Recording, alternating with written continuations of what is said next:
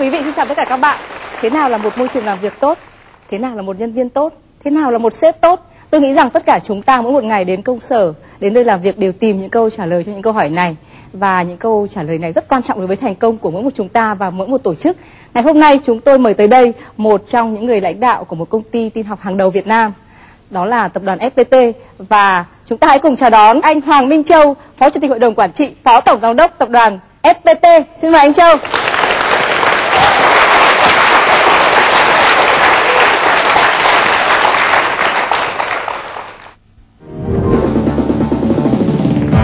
Nhân vật người đương thời mà các bạn gặp gỡ ngày hôm nay là người đã có kinh nghiệm gần 20 năm làm sếp tại tập đoàn FPT. Với cương vị là Phó Tổng Giám đốc, Phó Chủ tịch Hội đồng Quản trị Tập đoàn FPT, Giám đốc FPT Thành phố Hồ Chí Minh, anh Hoàng Minh Châu đã lãnh đạo FPT Thành phố Hồ Chí Minh từ nhóm 3 người phát triển lên gần 3.000 người. Doanh số từ con số 0 tăng lên khoảng 300 triệu đô la năm 2006. Anh Châu còn là một trong những người đi tiên phong trong việc xây dựng văn hóa công ty tại FPT. Văn hóa công ty được coi là một trong các bí quyết thành công của FPT. Mấu chốt của việc xây dựng văn hóa nơi công sở, đó chính là xây dựng mối quan hệ giữa sếp và nhân viên. Chúng ta hãy cùng anh Hoàng Minh Châu chia sẻ về vấn đề này trong chương trình Người đương thời.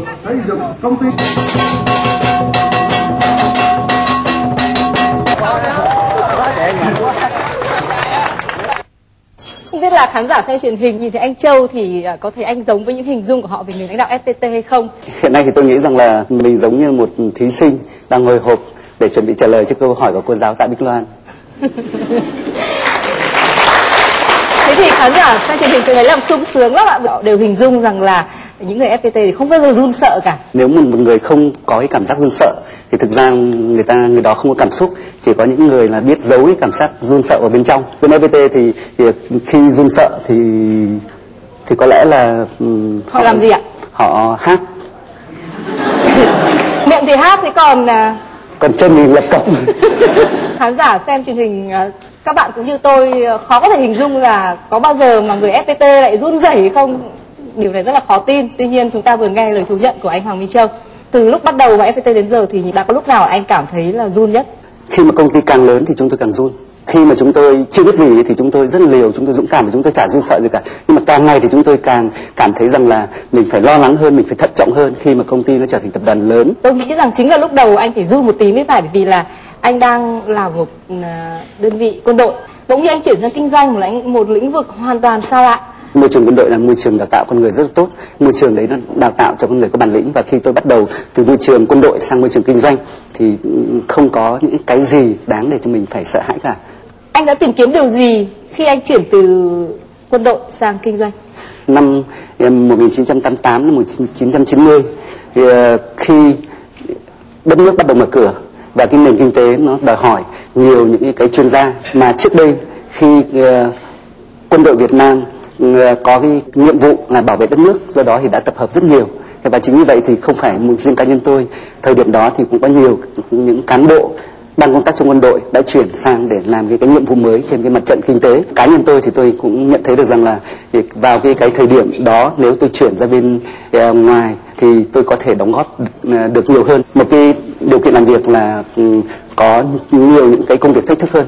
Và anh hình dung thách thức đó là gì? Thế hệ chúng tôi là cái thế hệ được sinh ra trong chiến tranh. Vào cái thời điểm năm 75 khi mà chúng tôi đi ra nước ngoài, thì chúng tôi cảm thấy rất tự hào bởi vì Việt Nam được giải phóng. Và chúng tôi cũng nghĩ rằng là cả thế giới người ta sẽ nhìn mình mắt ngưỡng mộ. Cái sự ngưỡng mộ nó đi qua rất nhanh. Và sau đó thì ờ, là một cái cái sự ờ, coi thường, khinh bỉ người Việt Nam. Bởi vì chúng ta nghèo, nỗi nhục của một cái cái dân tộc nghèo hèn là một nỗi nhục rất lớn. Thế hệ chúng tôi là một thế hệ rất đặc biệt. Ờ, khi tốt nghiệp phổ thông vào năm 1975 thì đất nước giải phóng. Chúng tôi không trực tiếp tham gia vào cái cuộc kháng chiến, mặc dù chúng tôi có chịu đựng những khó khăn của cuộc kháng chiến. Và chúng tôi nghĩ rằng là cái thế hệ tranh đã làm tất cả để mang lại hòa bình cho thế hệ chúng tôi. Và nếu như thế hệ chúng tôi mà không gánh vác cái nhiệm vụ xây dựng kinh tế, thì thực ra ai sẽ đánh gánh vác? Và khi mà chúng tôi ờ, vào năm 1988 khi mà nhóm cán bộ công ty FPT quyết định thành lập một công ty, thì chúng tôi chỉ có một mục tiêu ờ, duy nhất là làm thế nào để cho những cái người có học những cái người ham muốn làm việc thì có một cuộc sống sung túc và đồng thời những cái người được nhà nước đào tạo thì phải xây dựng nước Việt Nam để chúng ta không nghèo hèn và khi chúng ta đi ra thế giới chúng ta có thể ngẩng cao đầu. anh nghĩ thế nào nếu như bây giờ tôi sẽ nói thay cho một bạn trẻ à, 18 tuổi? Bạn ấy sẽ bảo rằng là những điều mà anh nói rất là lý thuyết. Một người mà bắt đầu ra lập nghiệp cái nhu cầu đầu tiên của họ là nhu cầu cá nhân mục tiêu đầu tiên nó ngắn hạn và nó nhỏ bé và khi người ta đã đạt được những mục tiêu đấy rồi thì bao giờ người ta cũng có mục tiêu dài hạn hơn và mục tiêu cao lớn hơn. Và thực sự thì chúng tôi rất tự hào là chúng tôi có thể đóng góp cho đất nước thông qua công ty FPT tôi cũng nói chuyện với các bạn trẻ, giống như là chị vừa đề cập, và người ta cũng đặt những cái câu hỏi như thế. Thì chúng tôi ừ, hỏi các bạn là, thế thì tương lai của đất nước Việt Nam sẽ như thế nào? Chúng ta tự hào về cái gì và chúng ta đang ở đâu? Và thực sự thì chúng ta có cái gì để hy vọng vào tương lai? Giờ chúng ta hay nói là người Việt Nam thông minh thực sự là chúng ta nhỏ bé chúng ta không khỏe bằng những người khác. Chúng ta thông minh chưa chắc đã hơn các dân tộc khác bởi vì tôi cũng chả thấy các giải thưởng Nobel về khoa học về nghệ thuật về văn học về tất cả các lĩnh vực cuộc sống mà người Việt Nam đạt được. Trước đây chúng ta lo là chúng lo sợ nguy cơ tụt hậu tôi thấy chúng ta chả nên lo sợ nguy cơ tụt hậu bởi chúng ta đang tụt tít đằng sau rồi. Và câu chuyện ngày hôm nay của chúng ta là làm thế nào để chúng ta không tụt hậu? Nó Vâng. sẽ được bắt đầu bằng chính những câu hỏi bình thường nhất đó là chúng ta sẽ đến công ty của chúng ta. Chúng ta sẽ là một người nhân viên như thế nào? Chúng ta có thể trở thành sếp được hay không? Sếp của chúng ta là người như thế nào? Chúng ta quan hệ với nhau như thế nào? Chúng ta sẽ trở lại vấn đề này ngay bây giờ. Uh, đó là câu vấn đề của câu chuyện ngày hôm nay. Xin được hỏi anh anh bao nhiêu năm làm nhân viên? Ở mọi thời điểm thì uh, chúng ta đều phải uh, báo cáo một ai đó. Thế do đó thì tôi đi làm bao nhiêu năm thì bấy nhiêu năm là nhân viên. Ở mọi thời điểm thì mình đều có thể chỉ huy một số người nào đó. Trên cho đến bây giờ thì tôi cũng vẫn đều làm sếp. Bởi vì khi đi học thì tôi đã là tổ trưởng rồi. Thế cái hồi anh làm tổ trưởng là anh tự cử hay là anh được ờ, chỉ Ờ, định? hình như là tôi ờ, lớn nhất ở cái bàn đó. Vậy vậy thì tôi được làm tổ trưởng. Tức là anh được làm tổ trưởng bởi vì anh to nhất tổ. Vâng. Thế còn bây giờ thì tại sao anh lại là sếp của FPT ngay từ ngày đầu tiên tôi gia nhập FPT thì tôi đã được làm giám đốc FPT Hồ Chí Minh thế và tôi cũng rất là ngạc nhiên. Nhưng mà cái giám đốc FPT thời đó thì nó cũng tương đương tổ trưởng thôi tại vì lúc đó cũng chỉ có vài người. Ng- ngày đầu tiên thì có ba người. Thế do đó thì khi cái chức vụ giám đốc FPT Hồ Chí Minh hồi đấy thì tôi cũng đánh giá cao bằng cái chức tổ trưởng của khi tôi học lớp 2 dù sao thì cũng may mắn bởi vì là ba người kia đã chịu làm nhân viên của anh. Hai người đó cũng đều là những người rất xuất sắc. Thế nhưng mà khi mà bỏ phiếu để bình chọn ấy thì có một cái may mắn là cả hai người kia đều biết tôi và hai người khơi kia không biết nhau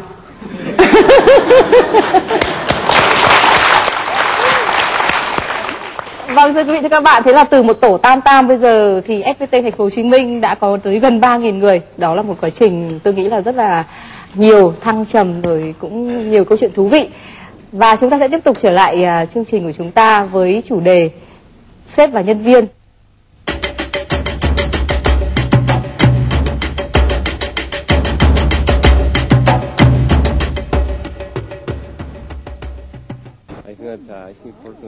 Với tôi thì tôi rất ghét những cái người sếp mà cựa quyền, kiêu ngạo và xa cách với nhân viên. Ờ, một người sếp mà em không thích ý, à, một người sếp mà không có sự chia sẻ và quan tâm đến nhân viên của mình.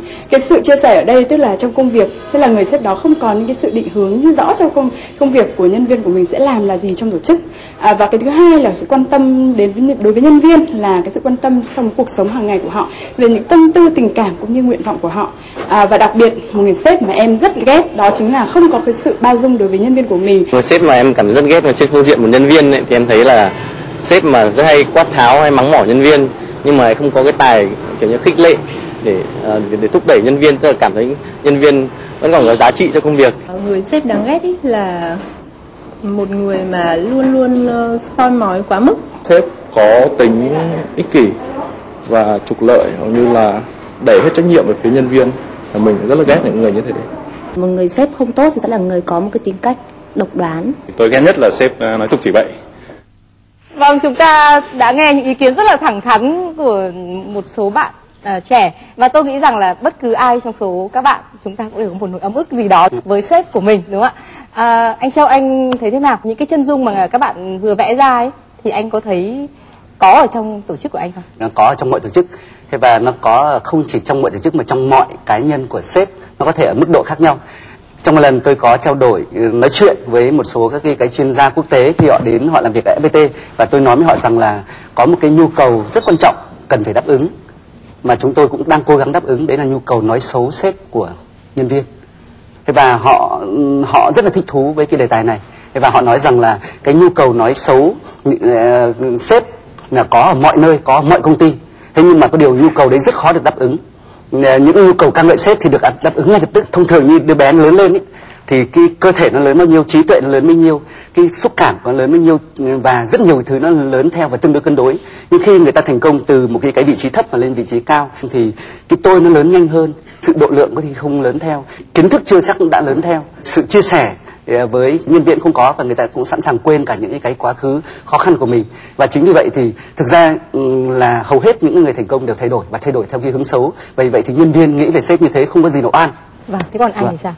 cá nhân tôi thì cho cho rằng là ờ, tất cả những cái người sếp nếu không biết tự soi mình thì tất cả những cái, cái tính xấu đó nó sẽ phát triển ngày càng trầm trọng hơn Tự soi mình là một cái ờ, kỹ năng mà tập luyện như thế nào đấy nhỉ? khi mình gặp những người sếp cao hơn nữa và mình nhìn thấy cách người ta đối xử với mình ấy thì mình mình chợt nhận ra rằng là nếu mình cũng đối xử với nhân viên như thế thì mình sẽ ghét à, họ sẽ ghét mình như nào? Bởi vì mình cũng rất ghét ghét cái ông trên ông cư xử với mình như thế. Có phải anh đang đưa ra một cái định nghĩa về sếp tốt của anh không? một người sếp đứng đầu một cái tổ chức thì người sếp đấy phải lãnh đạo cái tổ chức đấy để hoàn thành tốt những cái nhiệm vụ đó. Nhưng người sếp đấy phải tạo điều kiện cho tất cả các cái nhân viên mình có một cái cái môi trường có cái điều kiện để đạt được cái ừ, ước mơ của mình nguyện vọng của mình và thăng tiến trong cuộc đời.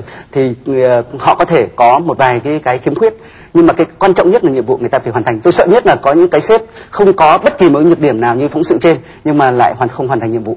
Nếu người ta không hoàn thành nhiệm vụ thì, thì ờ, tốt nhất người ta không nên làm sếp. Làm thế nào để nhìn ra được một sếp xấu ở FPT? thì chỉ cần nhìn vào cái tốc độ tăng trưởng của cái cái bộ phận đấy thì cũng có thể biết được cái cái sếp đấy là sếp giỏi hay không giỏi. Tốc độ tăng trưởng ờ, của ừ, toàn tập đoàn FPT trong nhiều năm qua khoảng 70% vì vậy nếu chúng ta nhìn thấy một lãnh đạo một giám đốc một cái trung tâm kinh doanh mà tốc độ tăng trưởng thấp hơn đó ờ, thì đã là không là giỏi. Nhưng nếu thấp hơn rất nhiều hoặc là không tăng trưởng trong nhiều năm thì như vậy cái sếp đấy không thể được coi là những cái, sếp giỏi. Xin được phản đối anh thì tôi thấy cái ờ, cách mà coi rằng là một sếp giỏi là một sếp ừ, hoàn thành mục tiêu nhiệm vụ tôi thấy nó nó có vẻ hơi tàn bạo. Nó mang cái màu sắc của kinh tế thị trường quá cao khi mà chúng ta ép doanh số đến như vậy và ừ, không có lẽ là đó chỉ là chỉ tiêu duy nhất của một sếp tốt thế nếu mà đấy là một con người tuy là không đạt được chỉ tiêu nhưng mà anh ta lại có những cái ờ, tình người hay anh ta động viên được nhân viên hay là anh ta Vâng. lại chú ý tới sự phát triển về Vâng. bề sâu lâu dài của công ty chứ không chỉ Vâng. vì những doanh số Vâng. trước mắt thì Vâng. sao Ở trong FPT ờ, thì ờ, có những cái công việc không phải mang lại lợi nhuận ngay lập tức và có Vâng. những cái công việc cần phải nhìn cái cái thời gian 2 năm, 3 năm, 5 năm nó mới mang lợi nhuận. Ví dụ như xuất khẩu phần mềm. Vâng. Ờ, trong nhiều năm đầu thì đây là cái cái lĩnh vực không mang lại lợi nhuận cho FPT và cái lợi nhuận là âm. Nhưng mà ờ, cho đến thời điểm này thì đây là một cái cái hướng chiến lược phân ờ, tăng trưởng cao nhất ở trong FPT và hứa hẹn tương lai mang lại lợi nhuận cao nhất. Thế do đó thì những cái sếp mà biết động viên mọi người, biết chia sẻ mọi người, biết ờ, tập hợp tất cả lực lượng vì một cái cái mục tiêu dài hạn thì người trước sau người ta thành công. Và cái sếp đấy thì, thì ờ, nếu mà có được những phẩm chất đấy thì tuyệt vời. Phẩm chất đấy còn cao hơn cái phẩm chất mà tự cái người đấy vận động để mà ờ, hoàn thành nhiệm vụ. Ở đây thì ờ, chúng tôi cũng chia sẻ cái cách mà chúng tôi đánh giá một cái cán bộ lãnh đạo của một cái tập thể như thế nào. Nếu một giám đốc trung tâm kinh doanh của FPT hoàn thành nhiệm vụ thì tất cả nhân viên ở trong đó được thưởng một phần một trăm phần trăm cái mức thưởng như là mức thưởng hoàn thành nhiệm vụ. Nhưng mà riêng cái người sếp thì chưa chắc chúng tôi sẽ quan sát sát xem là cái người lãnh đạo đó đã lãnh đạo cái tổ chức của mình và hoàn thành nhiệm vụ bằng cách nào. Nếu như hầu hết các cái, cái công việc đều do cái người sếp đấy là tự thân ờ, mình làm và mình làm rất nhiều rất là vất vả để đạt được cái thành công đấy thì chúng tôi đánh giá rất thấp. Và tôi đánh giá rất cao cái người sếp mà không làm cái gì cả nhưng mà lại là tạo điều kiện để cho tất cả các cái, cái nhân viên của mình để hoàn thành nhiệm vụ. Anh đi về nhà vào lúc mấy giờ chiều? Chắc khoảng là sáu bảy giờ. Anh có thấy lương tâm cắn rứt không? Cái áp lực ở trong công việc của FPT ấy, ờ, Ờ, nó không phải chỉ đè lên nhân viên cái áp lực công việc đấy, nó còn ảnh hưởng đến gia đình FPT bố mẹ FPT thì ít được con cái hỏi thăm ờ, vợ hoặc chồng FPT thì ít ờ, được chồng hoặc vợ của mình dành thời gian chiều chuộng. Con cái thì ít được bố mẹ đưa đi chơi hoặc là chăm sóc học hành. Và, nhưng mà tất cả mọi người cũng đều chấp nhận cái điều đó và cùng chia sẻ, cùng thành công với FPT thành công của FPT bao gồm đóng góp cả những gia đình của FPT và Vâng. họ là một phần của FPT vì vậy thì họ không có ờ, có quyền để phàn nàn nếu họ chính là một phần của FPT không tôi ở đây ờ, chị hỏi là tôi có áy náy hay không? Vâng. Anh có anh này không khi anh về nhà vào 6 giờ rưỡi còn nhân viên của anh ngồi đến 10 rưỡi? Yeah, ừ, không tôi không áy náy. Yeah, ừ, yeah, thế anh vừa bảo là cùng chia sẻ thành công cùng Yeah, chia sẻ yeah, khó khăn. tôi không áy náy.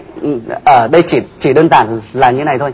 Yeah, thực sự thì yeah, những cái người sếp mà làm yeah, không hết việc còn nhân viên đi chơi đấy mới là những người sếp tồi còn những người mà nhân viên làm không hết việc mà mà sếp à, sếp vẫn có thời gian thảnh thơi đi chơi thì đấy người sếp tốt hơn. Bởi vì người sếp là lo công việc cho mọi người. Cậu cứ cày đi còn tới đi đánh gôn. Vâng. Thì, à, thì, à, và chúng ta cùng chia sẻ thành công. Có một lần thì tôi ờ, ờ, được đặt ra câu hỏi với ông Patrick McGowan của ờ, chủ tịch của tập đoàn IDG thì tôi được biết là ông ấy là chủ của 120 công ty và khoảng 300 tờ báo lớn trên thế giới. Và tôi có hỏi ông ấy rằng là ờ, với nhiều cái cái ờ, đầu mối như thế thì ông quản lý cái thời gian của ông như thế nào? Thì ông nói rằng là vì có rất nhiều công việc cần phải làm do đó thì tôi chỉ dành được có 60% thời gian của tôi để đi chơi. Ông có giải thích thêm là ờ, nhưng trong thời gian tôi đi chơi thì tôi làm hai việc. Việc thứ nhất là tôi đi tìm cái nhu cầu thông tin tiếp theo của nhân loại là gì? Và việc thứ hai ấy, là tôi, tôi đi tìm người tài giỏi về để phục vụ IDG và ông ấy nói rằng hai việc đấy chỉ có thể làm trong lúc đi chơi, chứ nếu mà tôi tự đóng mình trong cái văn phòng thì tôi sẽ không bao giờ làm được những cái việc đó. Vì vậy thì ờ, tôi không nghĩ rằng một cái người sếp đi chơi gôn hay là một người sếp giao du là người ờ, sếp kém. Vấn đề là cái cái người sếp đấy ờ, làm cái việc gì nhưng người sếp đấy phải chỉ ra được cái cái cơ hội tiếp theo là cái gì, cái chiến lược phát triển công ty là cái gì. Nhìn bề ngoài thì là người sếp là được hưởng lương cao hơn nhìn bề ngoài thì là người xếp được cái cái quyền lợi lớn hơn quyền lực lớn hơn. Thì, à, không cần phải đi cày đi cuốc và cần phải làm rất nhiều việc. Nhưng mà à, tất cả những ai mà khi à, lên ở một cái, cái vị trí cao thì đều thấy rằng là cái cái ừ, áp lực nó nặng nề hơn rất nhiều. Và chính vì vậy thì tôi thấy rằng là rất nhiều người đang từ nhân viên lên trưởng phòng thì tự nhiên là tóc rụng đầu hói và sau đó thì ờ, càng lên cái chức cao nữa. hơn nữa. Vâng. Ờ, ừ, vâng. Ờ, và cái bụng phệ không phải một cái dấu hiệu tốt. Và tôi ngờ rằng là ờ, bụng phệ là do thức ăn có nhiều thức tăng trọng. Hoặc là anh ta phải uống quá nhiều bia rượu đúng không ạ? Vâng. tôi nghĩ rằng là khá nhiều người lúc này đang hả hê bởi vì là bao nhiêu là nỗi oan trái của các sếp đang được anh châu như là minh oan cho rồi không biết là các bạn có giảm bớt đi nỗi bực dọc với các sếp của mình không? Có thông cảm chia sẻ với những người đang tóc thì rụng đi đầu hói đi bụng thì to ra hay không? Còn à, cá nhân anh trước khi trở thành một sếp to đúng không ạ? Thì anh đã phải trải qua như anh nói là cũng nhiều cung bậc chứ.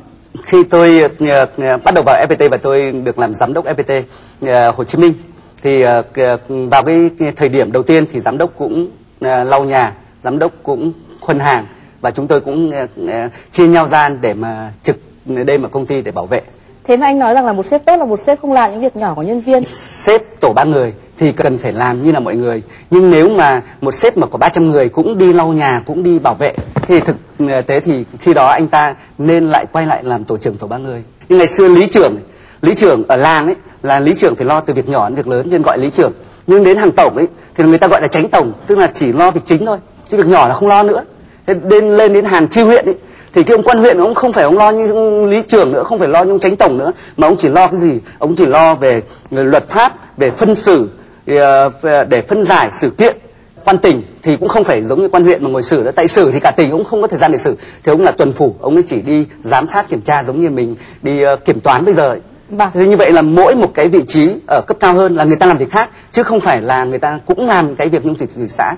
Thế thì Vâng. khi mà cái giám đốc một cái, cái công ty nó lớn hơn là anh ta làm những việc khác, anh ta làm về chiến lược lược, anh ta làm về định hướng, anh ta ờ, làm về ờ, lập kế hoạch, anh ta làm về tập hợp lực lượng chứ không phải là anh ta làm những cái công việc cụ thể. Vâng, thưa quý vị và các bạn, chúng ta đang theo dõi chương trình Người đương thời và chủ đề ngày hôm nay của chúng ta là mối quan hệ con người tại à, công sở, tại môi trường làm việc của bạn. Và bây giờ thì tôi muốn à, đề nghị các bạn à, có một ai ở đây biết câu chuyện của Aziz Nesin có kể về một con mèo một con mèo mà bị bị đạp một phát và bắn ra đường và kêu toáng lên ạ. Có bạn nào có thể kể tôi câu chuyện này được không? Đây là một câu chuyện nói về một cái sự bực tức mà được chút từ à, người từ người sếp mà ra đến con mèo ạ. Dạ. Tức là em xin kể là à, cái người sếp đấy đã tức giận và à, chút cái sự nóng giận lên một người nhân viên. Người nam nhân viên đấy lại về nhà chút lên cho vợ và khi à, bài tiếp theo là người vợ chút lên số con mèo, con mèo bị đau bị đá tung ra ngoài đường ạ. À, vâng. Thế là hết ạ. Không Vâng. biết có phải không ạ chị Loan? Hoàn toàn chính xác. Vâng con mèo bị bắn ra ngoài đường một cách thảm thương chính là một biểu tượng của sự vô lý của những cái sự bực bội. Nó có thể truyền từ người sang người khác và làm cho cuộc sống của chúng ta trở nên khổ sở biết bao. Và nếu như bạn hàng ngày đến cơ quan mà gặp phải những người sếp à, có những cái sự cư xử thật là vô lý thì bạn thấy cuộc đời bạn tối tăm biết bao. Nhưng mà bạn không phải là người khổ nhất con mèo mới là khổ nhất. Chúng ta đang nói tới mối quan hệ ở công sở. À, xin được hỏi là bản thân anh Châu thì đã xây dựng mối quan hệ uh, trong công sở của mình như thế nào? Ở trong FPT thì chúng tôi uh, cũng cố gắng là làm thế nào để có được một cái cái sự bình đẳng. Ngay từ cái thời đầu tiên chúng tôi đã cố gắng duy trì một cái cái văn hóa không quà biếu. Và đồng thời chúng tôi cũng đưa ra một cái cái cái quy định khác ở trong công ty. Ngày Tết ấy, nhân viên không bắt buộc phải đến nhà sếp nhưng mà mỗi người lãnh đạo phải có trách nhiệm đến những cái cái cán bộ mà cận kề mình mình thường xuyên làm việc trong năm. Tôi vẫn chưa thấy có gì thật là sốc lắm. Anh kể cái gì đó sốc hơn nữa đi. Chị có một cái dịp chị đến uh, uh, đến công ty FPT và tham gia một cái cái buổi họp. Thì chị sẽ thấy được rằng là cái người nói to nhất thì không phải là các lãnh đạo. Và cái người mà đập bàn nhiều nhất thì không phải lãnh đạo mà là uh, những cái người uh, cấp dưới. Rất nhiều người ngạc nhiên khi mà thấy cái, cái chuyện đó xảy ra công ty FPT và khi đó thì chị sẽ thấy sốc. Khi còn diễn tả bằng lời thì có thể là vâng. sẽ không diễn tả hết được. Trong một chừng mực rất nhỏ thôi thì có thể là nó gây cái phản cảm cho nhiều người xung quanh. Chứ còn trong phần lớn các trường hợp thì đều rất là tốt. Bởi vì ờ, cái cái người nhân viên nếu như ừ, ờ, người ta dám to tiếng với sếp chứng tỏ là sếp không có uh, chú úm vì vậy thì những cái ý kiến thật được lắng nghe từ tất cả các nhân viên. Khi mà một cái cái vấn đề gì mình ra một cái quyết định mà có cái sự ủng hộ của một trăm phần trăm thì chúng tôi rất lo lắng. Bởi vì đã không có sự phản biện thực sự và khi không có sự phản biện thực sự thì cũng không có sự kiểm soát thực sự.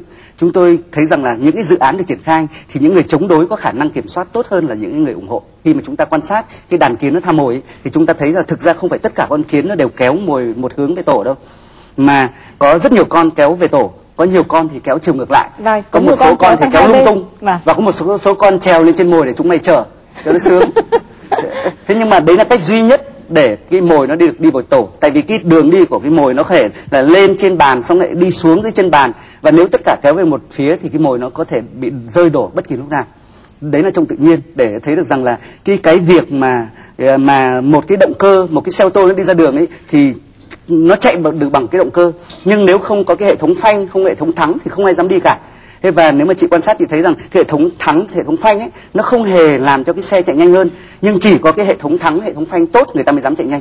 Nghe anh nói thì tôi thấy có vẻ như là các anh rất là dân chủ. Thế nhưng mà chính trong một cuốn sách có tên là Vâng. đồng đội mà Vâng. anh làm chủ biên đấy ạ, thì anh lại à, tự nhận là người độc tài. Ở đấy không phải tôi nhận là độc tài mà có một cái lãnh đạo mà là độc tài. Thế và ở đây thì ừ, trong cái, cái, cái ví dụ đó thì tôi phân tích là như này này. Dân chủ là một cái môi trường rất là tốt. Nó cho phép là người ta tranh luận để ờ, và sớm phát hiện ra nếu vấn đề sai. Thế nhưng mà ờ, có một cái cái môi trường khác nữa ấy, có thể đạt được cái thành tựu còn cao hơn là dân chủ. Đấy là cái môi trường độc tài sáng suốt. Tức là cái cái người độc tài sáng suốt ấy là người ta ra được cái quyết định sáng suốt ngay lập tức. Nhưng mà cái độc tài sáng suốt nó chỉ có thể tạo cái thành tựu ngắn hạn trong cái thời của độc tài sáng suốt nhưng khi cái cái quy mô nó lớn hơn lên nữa, hoặc là khi người độc tài đó ra đi, thì cái cái sự sáng suốt nó không còn, nhưng mà cái môi trường độc tài nó còn nguyên. Và vì vậy thì cái độc tài không sáng suốt nó mới nguy hiểm và độc tài ngu dốt sẽ dẫn người ta đến đầm lầy. Tóm lại là anh tự nhận mình là vừa độc tài vừa dân chủ. Chưa bao giờ tôi nhận tôi là độc tài. Ngay Nhưng trong mà- cuốn sách này cũng thế. Thế nhưng mà người à, người khác thì nói là anh là độc tài ạ. Cái việc mà sẽ có một số người nói tôi là tốt và cũng rất nhiều người khác nói tôi là xấu Xin và một số người độc tài không phải là xấu ạ. vâng Vâng, thế vâng, và và mở ngoặc, vâng, không phải là độc tài vâng. là- và là cũng xấu. sẽ có người nói tôi là độc tài và cũng sẽ cũng có người nói tôi là dân chủ. Nếu nhìn từ phía này thì người ta sẽ có thể quan sát được cái cái lúc tôi độc tài. Và nhìn từ góc độ khác thì có thể quan sát được lúc tôi dân chủ. Bây giờ chúng tôi muốn quan sát lúc anh đang dân chủ. Chúng tôi muốn thử để anh thể hiện tính dân chủ của mình. Bây giờ ở đây cũng có khá nhiều bạn là nhân Ừ. viên của anh. Các bạn biết không anh à, Hoàng Minh Châu có một cái biệt tài đó là ứng khẩu thành thơ theo như một số nhân viên ca ngợi sau lưng anh. Các bạn ơi các bạn hãy đưa ra một vài câu làm mồi và sau đó anh Châu sẽ tiếp tục phát triển cái, cái tứ thơ của bạn? Nếu như tôi có cái khả năng gì đấy thì chắc chắn là không không phải là thơ. Thơ là cái tôi dốt nhất không hiểu tại sao mà ừm, cái này đúng là mọi người nói xấu tôi thật. Thế thì tôi đang nghi rằng là có một số kẻ đã định chơi xỏ anh trong vụ Vâng, này. dạ vâng. Bởi vì họ đề nghị tôi là- lại cho anh làm thơ Vâng. tại trường quay. Nhưng mà anh vừa nói là anh thích thử thách mà hãy cùng phiêu lưu với chúng tôi. Nào các bạn có ai có câu gì không xin mời em Em xin à, làm à, hai câu trước là hôm nay à, tham gia người đương thời anh Châu đã bị hỏi khó rồi. nghe xong câu thơ mồi anh cảm thấy bồi hồi. Vâng xin mời các bạn tiếp tục. Mặt bàn mà biết nói năng ạ. Mặt bàn và biết nói năng xin mời anh. Vần ăn Ờ, vần ăn thì ờ, thì ờ, thì anh cu tí hàm răng chẳng còn anh cu tí ấy sao lại anh cu tí nhỉ? Anh gì? Anh gì cũng được. Anh anh gì nhỉ? Anh gì ạ? Anh chức danh của anh là gì nhỉ? Thì anh phó tổng hàm răng chẳng còn. Thôi cái mục này tôi xin nhận điểm 3 đi. Không không không không chúng tôi không tha cho anh phải một câu nữa mới được. Nếu tôi có một cái phi tiêu ạ, nếu tôi có cái phi tiêu thì thì tôi cũng thì tôi cũng quyết thì, ờ, ờ, thì tôi thì tôi quyết một phen liều phi anh. Thì anh hay thì em? Phi anh ở FPT ấy là ờ, thường là nhân viên ờ, lấy ảnh của sếp cắm lên tường và sau đó thì phi tiêu. Anh đang định ờ, đưa cái này ra làm mô hình cho nhiều công ty khác học tập. Chúng tôi nghĩ rằng là khi một ai đó chia sẻ cái quan niệm của mình ấy, thì chỉ có một cái cái mục tiêu là chia sẻ để mọi người biết thôi. Thế còn cái uh, mỗi một người thì, ờ, sẽ có uh, cách riêng để xây dựng cái, cái tổ chức của mình ờ, theo cái cái phong cách của mình chứ còn thực sự cũng không thể mang cái cái văn hóa từ công ty này áp đặt sang công ty kia. Nhưng mà tôi thấy hình như những cái các anh làm là hình như học của nhật thì phải. Chúng tôi học cả của Nhật chúng tôi học của cả Mỹ và chúng tôi học của cả các cái công ty Việt Nam. Chúng tôi học từ rất nhiều chỗ. Tạo thành một món lẩu. Cuộc sống nó không phải chỉ có những niềm vui. Cuộc sống nó có cả những nỗi buồn có cả mặn ngọt chua cay nó có tất cả những cái đó. Thế nhưng mà ờ, nhưng mà không có nghĩa cuộc sống phải là một cái nồi lẩu. Cuộc sống có thể nói giống như một cái bữa tiệc thịnh soạn mà có thể rất nhiều món. Vâng. Chúng ta vừa mới biết những ờ, mối quan hệ giữa sếp và nhân viên. À, có thể bạn thích hay không thích, à, đó là những mối quan hệ ở FPT.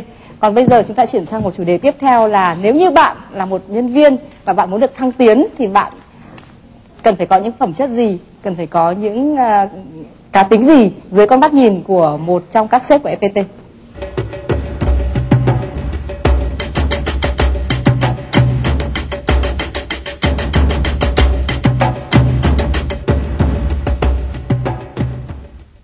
Người nhân viên mà tôi cảm thấy là một loại đầu tiên đó chính là những nhân viên mà lười lười biếng. Những người thứ hai là những người mà thiếu sự trung thực. Ví dụ như là khi đưa ra một cái cái cái, cái vấn đề gì đó và họ nói rằng là họ sẽ giải quyết nhưng sau đó thì họ lại tìm cách họ đổ cho người khác. Tôi không thích những người không kiên trì. Những người không chân thành thì tôi không thích. Đòi hỏi tính cách đấy. Mà có thể bị loại ngay lập tức ra khỏi tổ chức.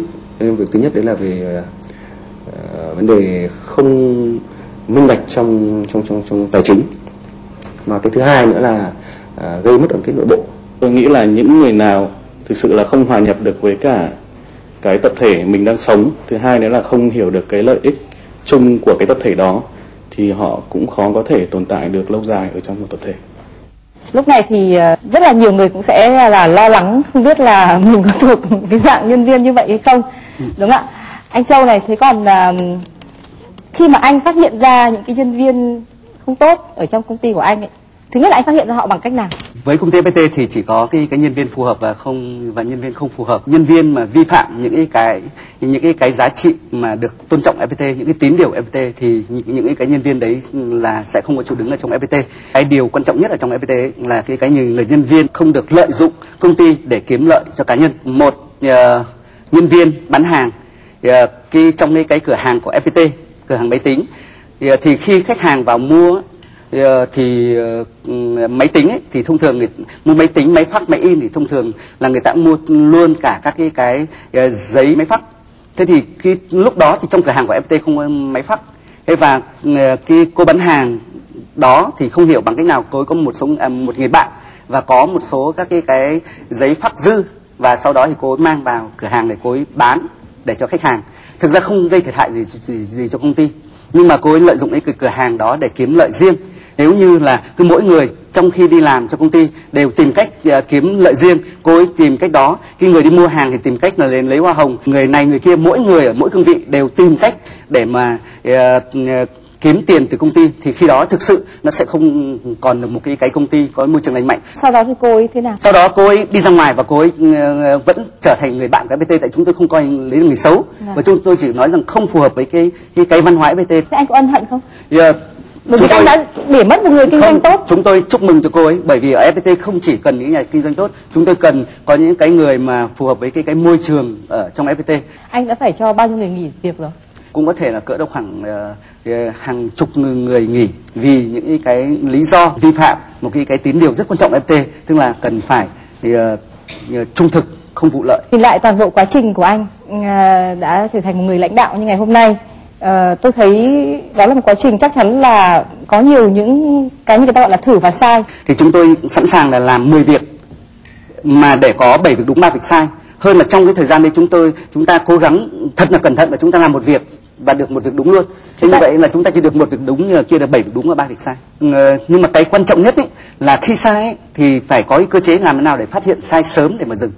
Đấy cho nên thành ra cái cái chính cái cơ chế dân chủ ở trong FPT nó giúp cho cái việc là các cái sai lầm sớm được phát hiện và vì vậy thì thiệt hại nó ít hơn đi. Giả định như là anh à, trong 10 trường hợp đối xử với con người thì đã có 7 lần đối xử đúng và 3 lần đối xử sai. Bây giờ sẽ là một lúc để cho anh có thể ờ, có được một cái lời nói thật là chân thành với một ai đó mà anh đã từng đối xử sai. Thử và sai ấy, thì đấy là trong các cơ hội kinh doanh. Thế còn ờ, đối với cái, cái quan hệ con người thì chúng ta không thể theo quan niệm là bảy ờ, đúng ba sai được. Thì, ờ, với con người là một cái đối tượng khác và ừ, chúng ta không thể hy sinh cái cái cái sự nghiệp của một cái người nào đó cái tình cảm cái niềm tin của một cái cá nhân nào đó. Do đó thì đối với con người thì lại phải theo cái phương châm là thận trọng hơn rất nhiều. Thì, ừ, trước khi quyết định một cái gì liên quan đến cái cái cá nhân là thông thường là chúng tôi phải ờ, lắng nghe từ nhiều phía, phải tham khảo rất nhiều ý kiến và trước khi đi đến một cái cái quyết định, cho một cái nhân viên nghỉ việc đấy là một cái quyết định vô cùng khó khăn, có thể nói là những cái quyết định khó khăn nhất trong cái cái quyết định của lãnh đạo, bởi vì nó ảnh hưởng không chỉ cho chính cái cái sự nghiệp của một cái cái nhân viên đó, mà ảnh hưởng cả cho cái cái những người còn lại nữa. Người ta sẽ nhìn vào cái cách mình đối xử với con người như thế nào.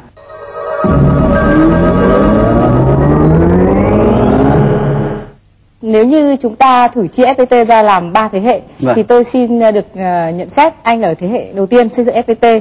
Tiếp theo có một thế hệ thứ hai là thế hệ tiếp theo anh và bây giờ đang có một thế hệ mới đó là Vâng. một thế hệ trẻ hơn. Vâng. À, anh xin anh cho nhận xét về sự cạnh tranh giữa thế hệ trẻ hơn này, thế hệ thứ ba với thế hệ thứ nhất.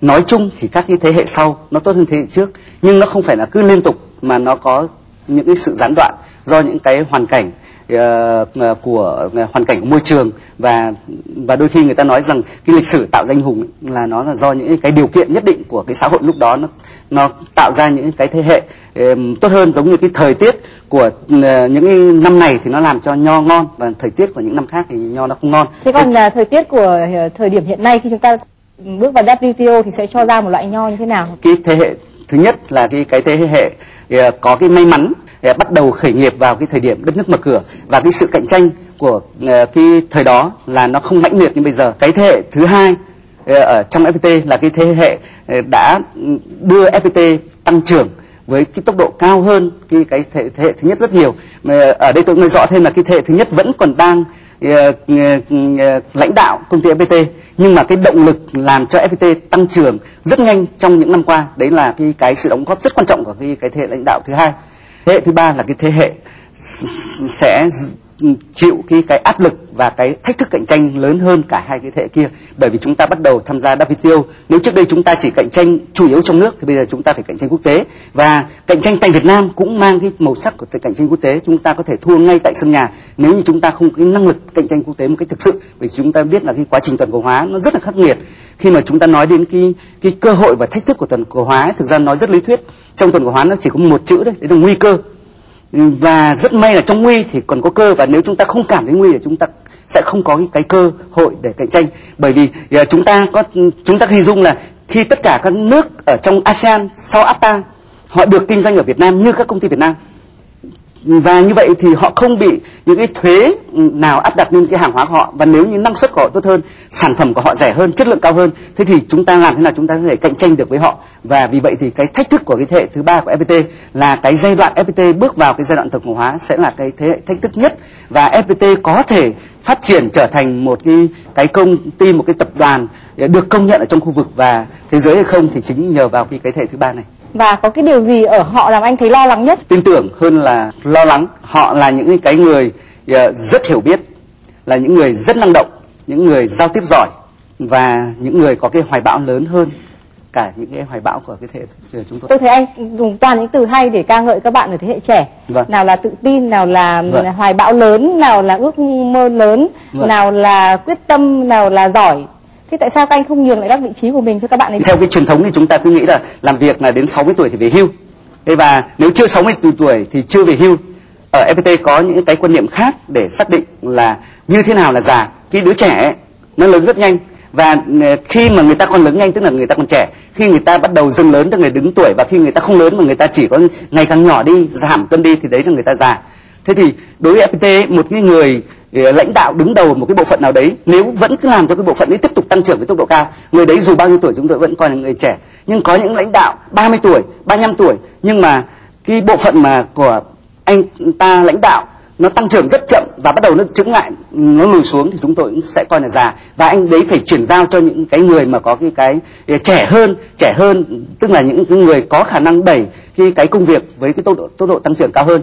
Và chính vì cái lẽ đó trên ở FPT ấy là cái việc mà một nhân viên có thể ờ, tiến nhanh hơn và vượt đầu qua những cái người lãnh đạo của chính mình. Là chuyện rất tự nhiên bởi vì không còn quan hệ vào tuổi tác mà quan hệ vào cái năng lực làm việc. Cái năng lực có thể đẩy cái tổ chức ờ, đi lên. Và bây giờ câu hỏi cuối cùng của tôi xin anh hãy nói ra một điều gì đấy làm cho mọi người sốc hơn nữa.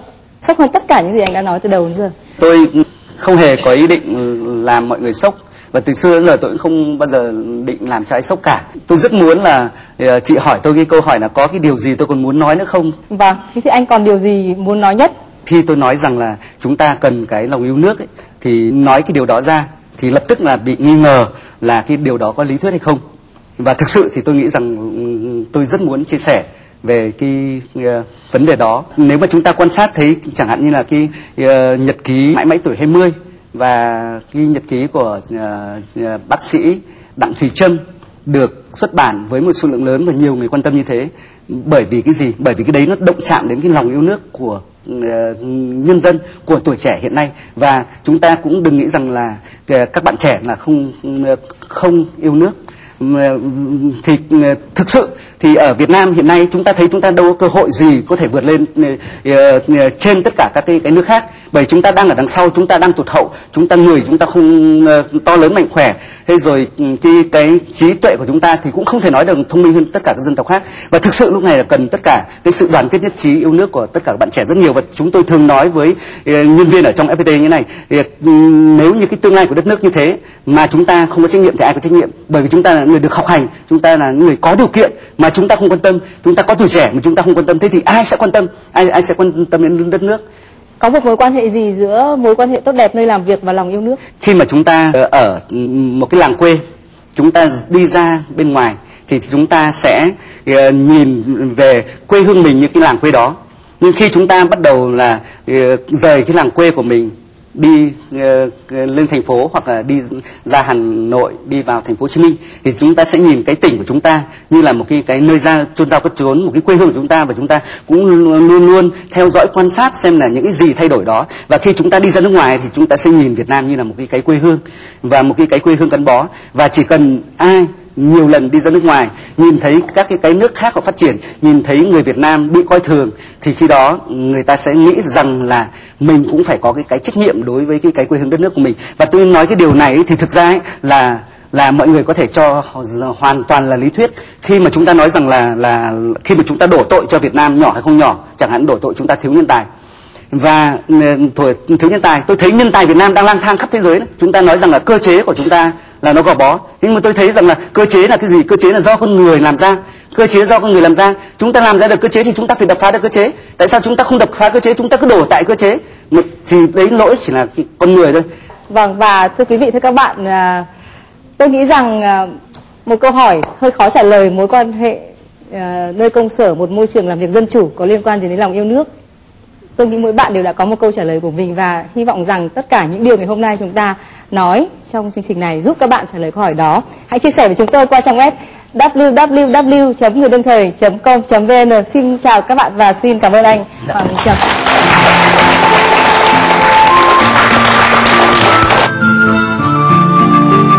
tìm đại dương bao la vươn mình qua đại ngàn về đây những con suối kết thành sông mênh mang cùng hòa lớp lên sóng vẫy buồn, đất trời thân thang